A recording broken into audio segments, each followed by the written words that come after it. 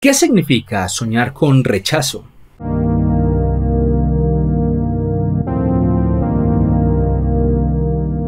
Experimentar un rechazo en un sueño puede representar que estamos reviviendo una situación pasada donde experimentamos una emoción similar. También puede significar que tememos que algo así ocurra por una decisión o actuar que realicemos, o simplemente es nuestra mente subconsciente haciendo ensayos emocionales con nosotros al dormir para que aprendamos a madurar y procesar esta emoción en caso de experimentarla. Este sueño suele darse por darle mucha importancia a la opinión de otros.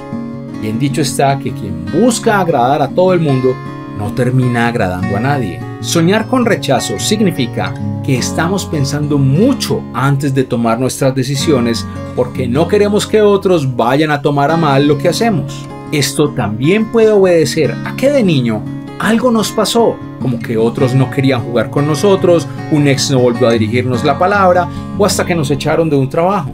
Y este dolor quedó marcado en nuestros recuerdos y aún buscamos superarlo o evitarlo en nuestro día a día. El soñar con rechazo no quiere decir que algo así vaya a suceder.